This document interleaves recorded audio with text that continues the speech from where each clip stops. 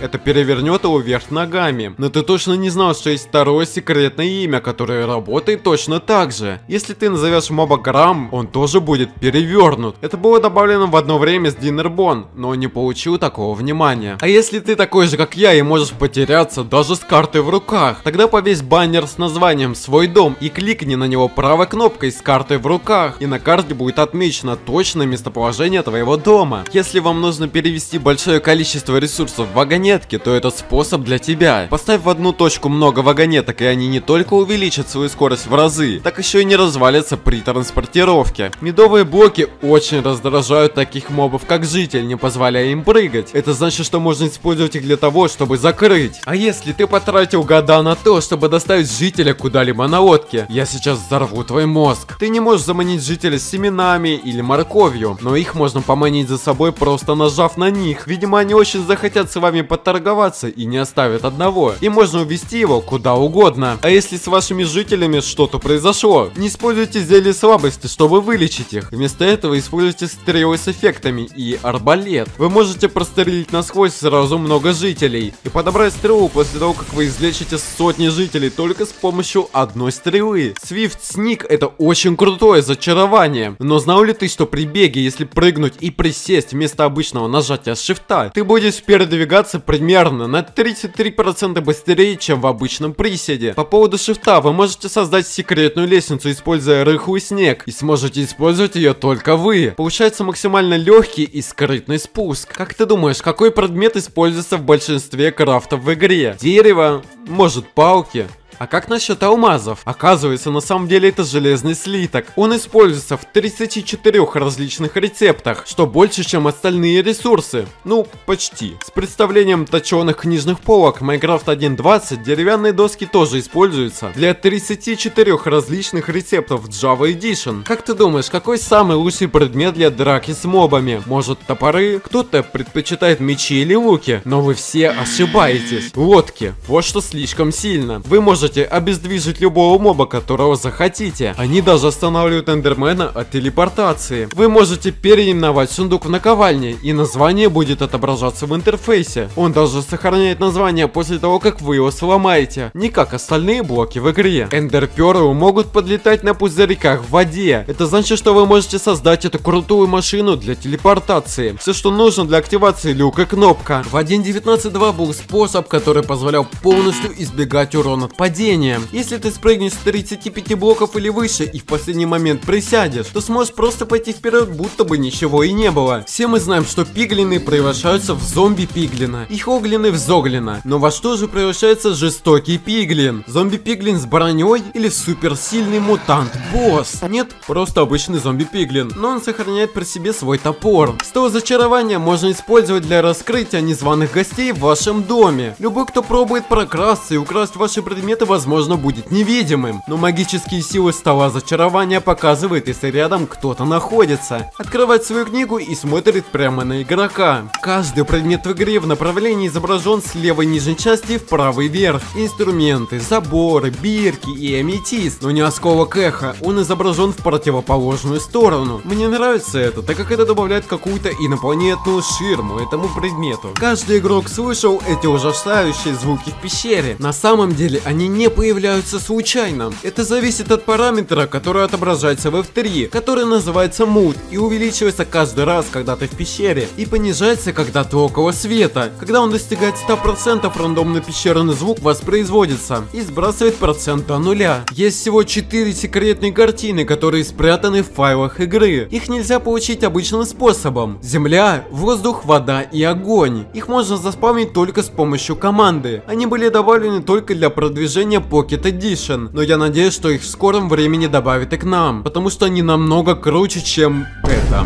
Тонированное стекло это единственное стекло, которое выпадает, когда его сломаешь. Мне кажется, аметист зачарован магическими силами. Большинство людей ставят ковры просто на пол, но есть вариантов намного больше, до которых ты даже не догадывался. Например, нить, вода, полублоки, кнопки или ковры, пшеница и даже огонь. Ну, возможно, это не лучший способ в игре очень очень много зелий, так что я даже вряд ли запомню, как крафтится половина из них. Но это не проблема для секретного зелья, которое называется Uncraftable Potion. Как уже говорит о нем название, его нельзя скрафтить или получить в режиме выживания, и оно не дает никакие эффекты, но выглядит классно. А вот что ты можешь скрафтить, но ты про это не знал, так это стержень края. Оказывается, его можно скрафтить с плодом Хоруса и палочкой Блейза. Арбалет с пронзающей стрелой очень полезный. Можно использовать быстрого вреда, чтобы нанести очень много урона большому количеству мобов одновременно, и после этого забрать стрелы. А если попасть в себе стрелой медленного падения, то ты очень высоко подлетишь при использовании трезубца, и можно использовать это для длительных полетов на элитры. Кстати говоря про элитры, помните когда не было фейерверков, приходилось использовать лук на откидывание, чтобы себя забустить, или я слишком старый. При перезаходе в мир, ты на пару секунд становишься неуязвимым. Если ты попал в неловкую ситуацию, ситуацию, ты можешь выйти и перезайти снова и снова. В итоге просто выплыть из лавы так, будто ты сделан из обсидиана. Щит это один из сильнейших предметов в игре. Он может блокировать фаерболы гастов. Но знал ли ты, что если войти в портал, при этом зажать правую кнопку мыши, щит будет использоваться автоматически, что позволяет тебе атаковать и копать. Это очень сильно. Иногда бывает такое, что кирка ломается в неподходящий момент, но если вы нажмете F3 плюс H одновременно, вам будет отображаться точно повышена прочность вашей кирки, и моды даже не нужны. Дым от костра сам по себе слабенький, достигает 10 блоков в высоту, а после растворяется. Однако, если поставить сено под него, дым будет достигать 25 блоков в высоту. Это классно, что лисы могут поднимать и воровать предметы, но знал ли ты, что они могут их использовать? Если попробовать убить лису, когда она держит в зубах тотем, она не умрет.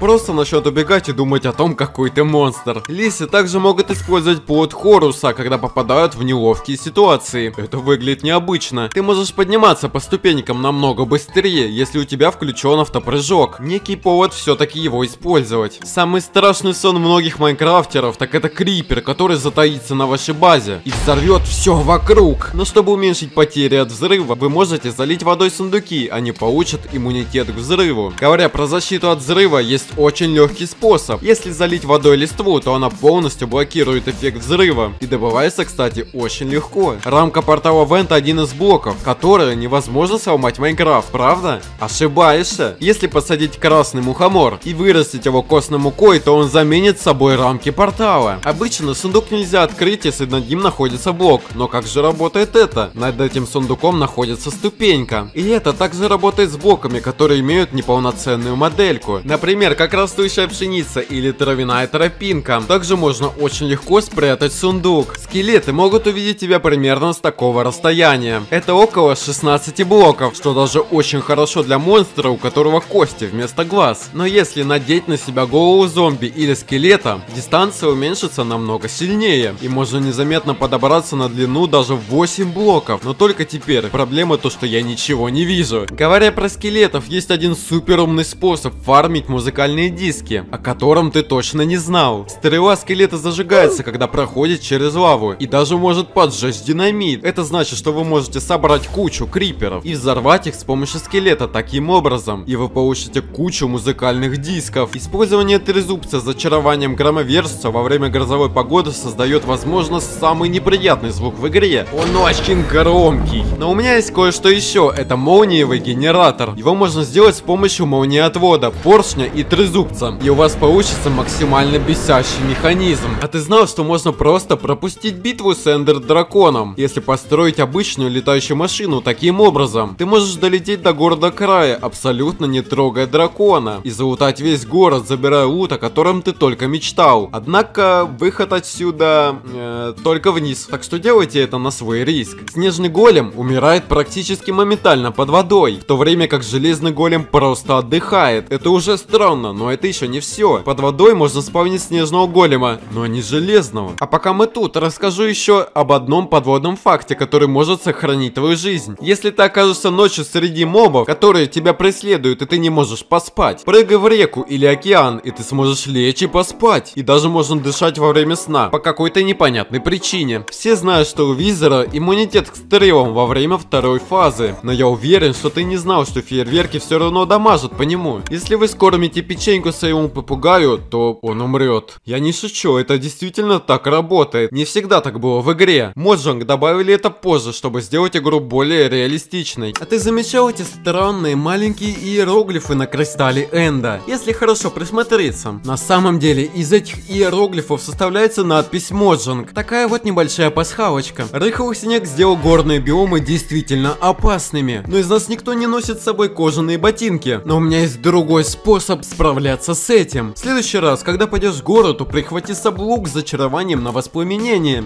Любой рыхлый снег, в который попадет горящая стрела, пропадает моментально. У светящегося лишайника есть один секрет, про который ты точно не знал. Они могут полностью блокировать воду, чтобы она не разливалась, так же как таблички и нажимные плиты. Но тоже они могут еще делать и славой. Морские огурцы это одни из любимейших моих растений в игре, но многие игроки просто забывают, что их можно ставить на суше. Они не будут излучать свет, теряют свой маленький стебель, но они все еще подходят хорошо для декорации. И сзади них можно даже посмотреть ставить картины. А еще более классно то, что кувшинки можно ставить на суше. Ну, почти. Если блок залита вода, то на него можно поставить кувшинку. Это значит, что можно поставить ее на люки, строительные леса, полублоки и твердолисты. Получается довольно необычно. Также их можно ставить на лед. Говоря про кувшинки, когда ты их ставишь, ты никогда не сможешь точно узнать, в какую сторону они будут повернуты. Интересно. Все знают, что можно заранее зарядить арбалет стрелой или фейерверком. Оказывается, это можно сделать делать офтом.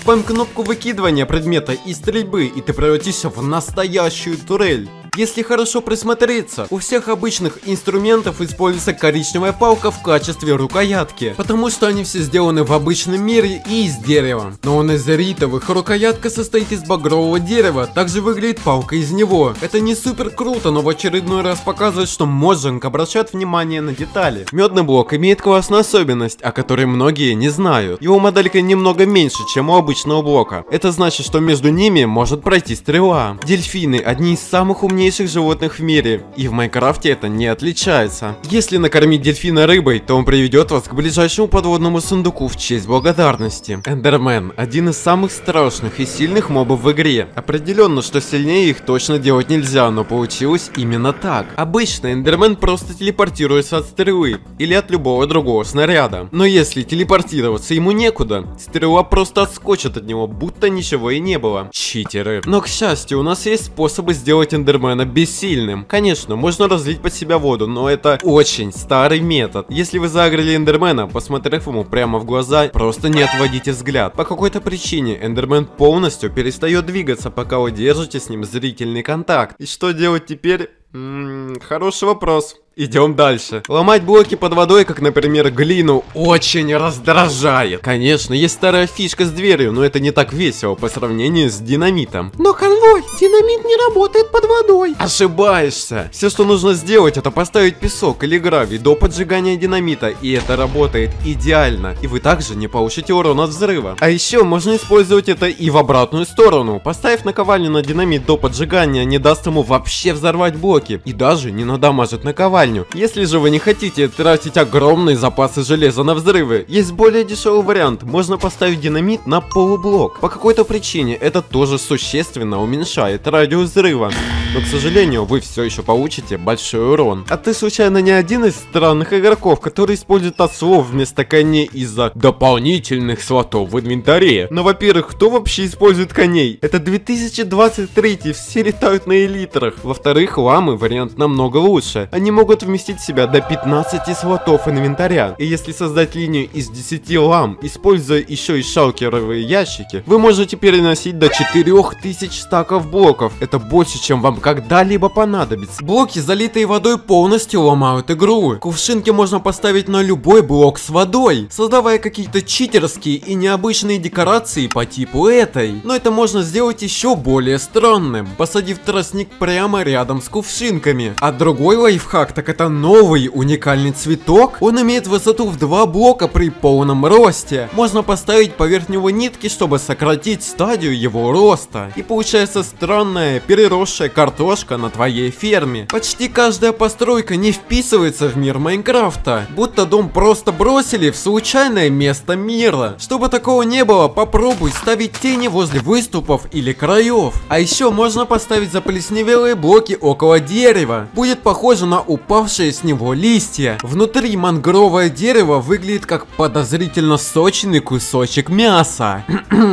Используя пару молниеотводов, стендов для брони и костер, можно создать эффект аппетитного мяса, которое приготавливается на огне. А если ты считаешь, что огонь для тебя слишком большой, ты можешь поставить стенд с броней в лаву под мясо, и получается огонь послабее. Если ты пытался внешне декорировать дом с помощью урожая, например пшеницы, ты точно сталкивался с такой проблемой. Однако этот читерский лайфхак решит ее. Вода может увлажнять землю по воздуху, значит что можно сделать такие урожайные огромные горшки без видимой воды. Попробую использовать перевернутый молниеотвод со свечкой на конце для создания длинного факела. Он не будет таким же ярким, но ты по какой-то причине сможешь стоять на краю молниеотвода. Многие уже знают, что можно сделать клетку для попугая, протолкнув поршнем стекло. Но разве не выглядит ли это слишком жестоко? Вместо этого дай ему пространство и кислорода с помощью клетки из строительного леса, как это. И чтобы быть уверенным, уверенным, что наш маленький друг максимально рад. Сделай эту продвинутую ванночку для птиц. Поставь стенд для брони со шлемом поверх трех слоев снега. И протолкни блок с полом и стенку поверх него. Закончи полубоком и табличками. С назеритовым шлемом выглядит куда привлекательнее, но это дороговато. Думаю, я выберу кожаный. Самый читерский предмет в ванильном выживании – палка от латки. Ее можно получить только командой. Но с помощью нее можно делать очень много безумных вещей, которые буквально как читы. Можно сделать странную кровать без подушки, белую траву, кривые цветочные кусты и даже летающую воду. Эту палку можно использовать в креативе для немного большего интереса в постройках. Ты можешь сделать из этой странной и скучной бамбуковой фермы по-настоящему классную. Соединив заборы и добавив листву на бамбук. Это чистая магия. Все знают, что раздатчик не может может ставить блоки. Но знал ли ты, что раздатчики могут ставить блоки для спавна мобов? Например, голема или визера. Вырезанная тыква в раздатчике может заспавнить снежного голема. Совсем как просто поставить блок на снег. Выглядит как неплохой способ поспорить с другом и развести его на алмазы. Многие игроки побеждают Эндер Дракона сначала сломав все кристаллы, а после ударить его мечом. Но можно подождать пока дракон приземлится и начать взрывать его кроватями. Это будет намного быстрее и дает значительно много урона. Кактусы способны уничтожать любой предмет, который к ним прикоснется. Но это не единственный блок, который так делает. Если сбросить наковальню на предмет с 4 блоков высоты или выше, она моментально уничтожит предметы под собой. Классно. Зелень невидимости идеально подойдет, чтобы спрятаться от друзей. И также обойти мобов. Но по какой-то причине жители все равно будут тебя видеть. Даже если ты полностью невидимый. То же самое происходит со столом зачарования. Так что если ты решил последить за друзьями, проследи, чтобы рядом не было жителей. А ты знал, что раньше было измерение под названием Sky Dimension. Это было волшебное царство в небе, в которое можно было попасть через сон. Каждый раз, когда ты ложился спать, был шанс, что ты проснешься здесь. К сожалению, эта идея была замещена Эндом, но я бы хотел, чтобы ее вернули. Пока ты проводишь снайперские дуэли или же скрываешься от них, чтобы они тебя не увидели, увидели, скелеты скрывают страшный секрет. Ну ладно, он не такой страшный. Но 11% из них это левши и держат свой лук иначе, чем остальные. Такое же примерно количество составляет людей левшей в реальной жизни. Все знают, что визор-скелеты не могут заспавниться с луком, но у них есть строка кода, которая позволяет стрелять им огненными стрелами, когда он им дается с помощью команды. Странно, правда? А ты знал то, что при спавне визора небо изменяет свой цвет? Это правда так. Когда сражение начинается, горизонт горизонт становится пепельно-серым, и некоторые облака становятся темнее. Но, к сожалению, сейчас этого никто не видит, так как почти все привыкли сражаться с визором под землей. Ставить ковры на загон с животными – это практично и удобно для перемещения. Но знал ли ты то, что есть метод куда лучше? Животные могут перелезать через открытые люки, но только в один конец. Когда они пытаются оттуда выйти, у них ничего не получится. Это упрощает в сто раз собирание животных в загон. И можно легко выйти из загона, при этом за тобой не будет вылетать тысяча куриц. Аксолотли делят с пчелами место самых милых мобов в Майнкрафте. При спавне они имеют обычные 4 расцветки, но есть один супер редкий, блестящий синий аксолотль. Его шанс появления примерно 1 к 1200. Это 0.083%. Какой-то игрок обнаружил то, что забрав рыбу в ведро из своего прекрасного дома и поместив их на пару слаймовых блоков, они начнут очень быстро и высоко подпрыгивать в воздух. Однако продолжение продолжится это недолго. Честно, не знаю, как можно было обнаружить этот факт. В Bedrock Edition можно переименовать костер в наковальне, и его название будет изображено над ним. Также работает с костром душ. Обычно лисы не атакуют просто так куриц и кроликов. Они применяют метод скрытно подойти и очень высоко напрыгнуть на свою добычу. Но когда лиса приземляется в снег, иногда она может застрять и будет пробовать лапками освободить себя. Выглядит это забавно. Сколько уже лет назад добавили лису в игру, но раньше я этого никогда не замечал. Может, я просто глупый. Слаймовый блок, блок меда и блок сена могут поглощать входящий урон по игроку при падении, но у каждого есть свои недостатки. Если поставить сундук и залить его водой, при падении ты не получаешь урон, не подпрыгиваешь и не замедляешься. Идеально. Хижина ведьмы может спавнить, ну вы знаете,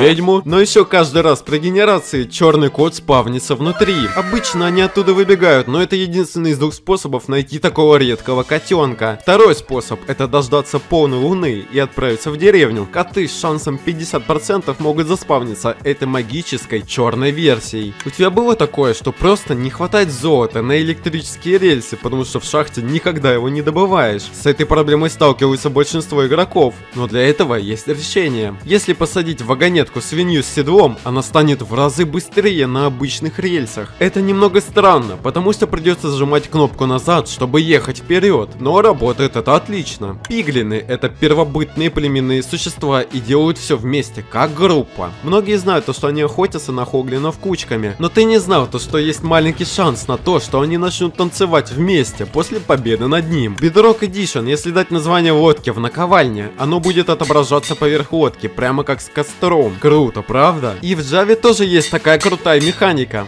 А, ну да, в Java нам вообще ничего не добавляют, я забыл.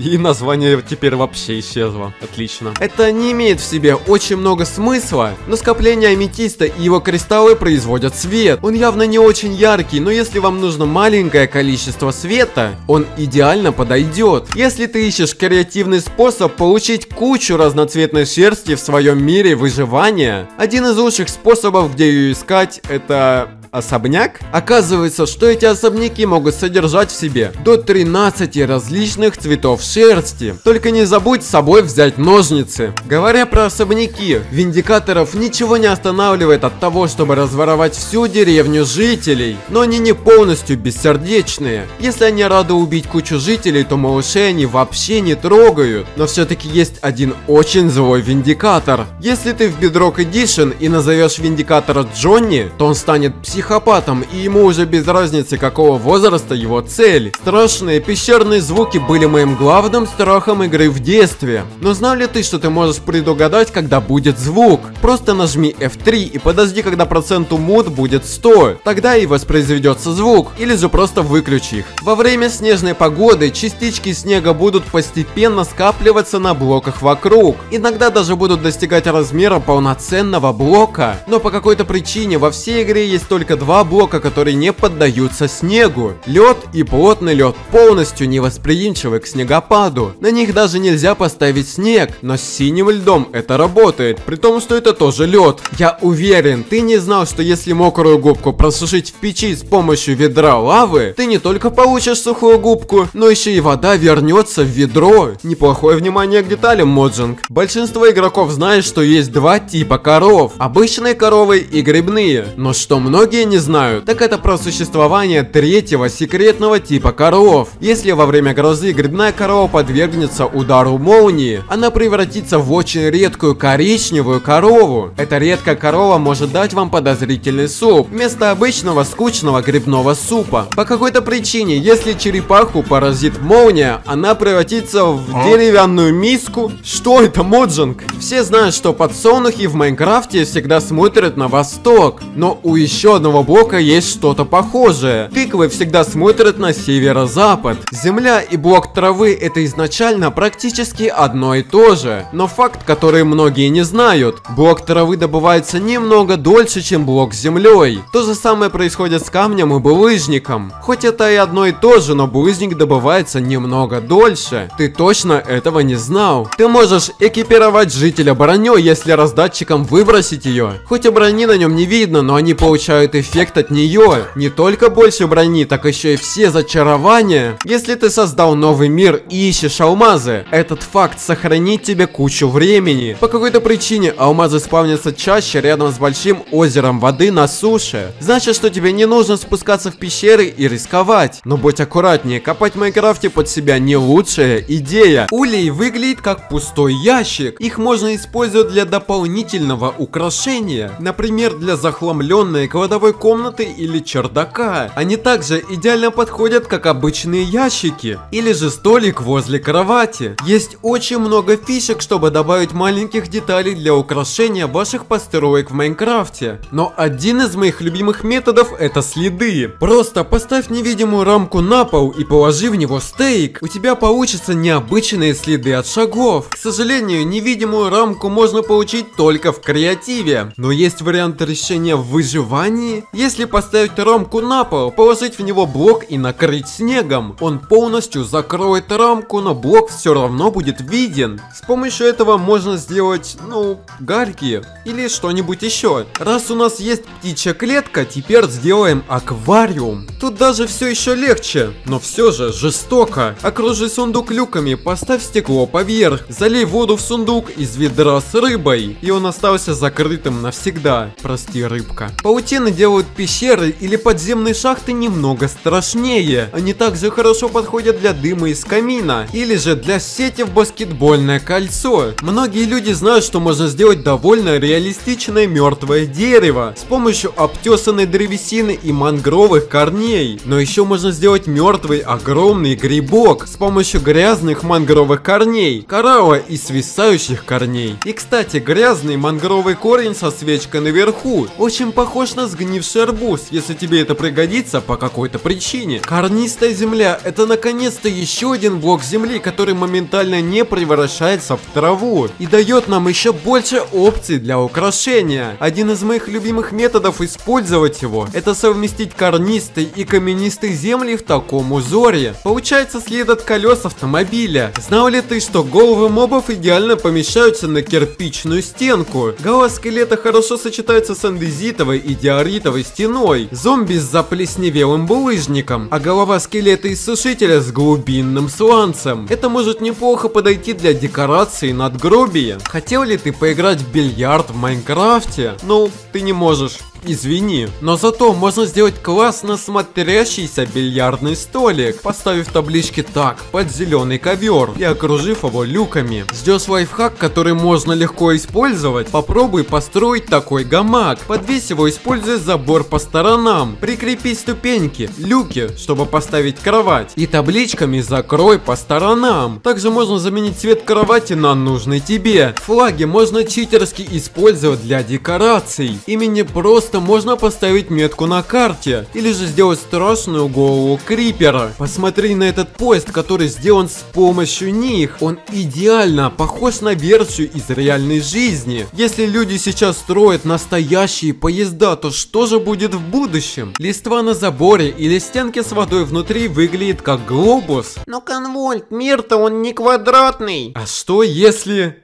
Бам! Уверен? Думаешь, строить как профи это тяжело? Подумай снова и смотри на это. Если ты строишь стены таким образом, то ты делаешь это неправильно. Вместо этого возьми похожие блоки и разбросай их по постройке. Можно использовать ступеньки, более темные блоки для разнообразия и текстурирования. И таким образом ты поднимешь уровень своего строительства очень легко. То же самое и с полом. Подумай всего пару минут над его узором. Ты пройдешь кучу детализации. Например, улей с досками, грибы с грязью и мох с землей снаружи. Есть много вариаций построить огромную версию еды в Майнкрафте. Очевидно, что ты можешь использовать морской огурец для арбуза или тыквы в качестве корня. Но также можно использовать мангровый отросток поверх мангрового дерева для создания свеклы. Или искаженную лозу и медовые соты для своеобразного ананаса. И морской огурец на блоке нароста для помидора. Для декорации фермы можно сделать бочку с ягодами. Поставь блок коралла и окружи его люками. Это работает и с сырым железом, получится бочка с картошкой. И можно попробовать с помощью багровых досок сделать бочонок с давленным виноградом около винодельни. Станок один из самых странно выглядящих блоков в игре, но их можно использовать как пустые книжные полки, эскалатор и кондиционеры снаружи строений, и как вариант крутая крыша для твоего дома дома. А если ты хочешь больше декораций для своей библиотеки, то в версии 1.20 был добавлен этот секретный способ. Поставь стенд с броней на снег, на него повесь шлем в такой расцветке. Протолкни блок сверху, и у тебя получится классная книга на столе. А вот как можно сделать твой пруд в 10 раз лучше, очень легко. Со ступеньками и полублоками, залитыми водой, ты можешь сделать детализированные камни. Это выглядит классно, а еще и легкий способ перейти в воду вместо обычных скучных кувшинок, которые мы имеем. Попробуй сделать свои. Используя 4 капельных листка и цветущую азалию, получаются большие и красочные кувшинки. А если у тебя есть огромное озеро, которое нужно украсить, попробуй повторить что-то похожее с капельным листом, кувшинками и листвой азалии. Возвращаясь в Майнкрафт Альфу, там было намного меньше блоков, и нельзя было классно украсить свои постройки, так как люков там не было подавно. Людям пришлось баговать дверь, чтобы вышло что-то похожее на люк. И они делали такие декорации, которые Ночь точно не задумывал. А если тебе нужна еще причина, чтобы перейти на лам, то вот она. А свои лошади тонут как жуки, когда вы передвигаетесь на них по воде. Ламы, в свою очередь, могут плавать. Конечно, ими нельзя управлять, но если вам нужен необычный поплавок для бассейна или что-то типа того, лама с этим идеально справляется. Фейерверки можно использовать для кучи различных вещей в наши дни, но я уверен, что вы никогда не задумывались о пушке из них. Именно так, фейерверки, запущенные из раздатчиков, наносят урон мобам. И это новый, лучший способ устранять мобов. Секунду. Нет, это не реклама. Приглашаю именно тебя в свой телеграм-канал. Там я очень часто общаюсь с подписчиками, делюсь информацией по выходу новых видео и вообще, там можно найти себе собеседника в чате. Ссылка в описании. Мы тебя ждем. Хоть мы этого не видим, но жители могут носить броню. Они также могут носить голову голову мобов и тыкву. С помощью раздатчика можно все это экипировать на жителя. И даже будут действовать зачарования на броне, включая шипы.